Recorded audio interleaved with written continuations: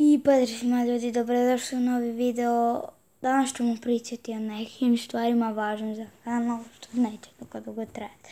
Kao prva stvar na prvom mjestu je da to da ću izbaciti novi kanal na kojem ćemo snimati Minecraft, Slime Rancher, Fifu, svim što god budete htjeli, radit ćemo neke fashion showe u Fortniteu, radit ćemo parkour i toko, tako to.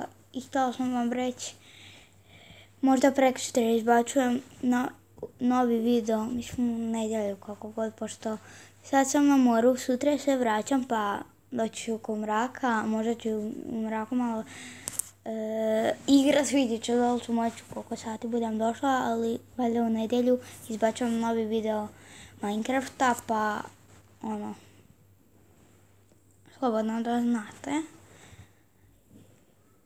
A druga stvar je da neću toliko puno snimat, zato što znate već, ne mogu snimat. Trebala bi to već znat.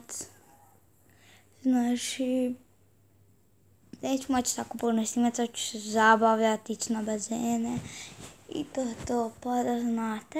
Ostavite like na video, pretplatite se na kanal i opalite subscribe. Tako da. Eto, to bi bilo to što sam ja htjela reći. Možda malo malo, premalo stvari. Ali slušajte, šta vam drugo kažem, neću puno snimati, izbacit ću novi kanal. I eto. Želite snimati shortove, snimat ću na TikToku, kako god želite. Ali isto, na jesen neću moći tako puno snimati zato što se vraćamo u školu. I u osmom mjesecu neću moći snimat pošto ću biti opet na moru. Eto, morat ću se vratiti zato što moji roditelji će morat raditi u ponedjeljak. A mi možemo odmarat.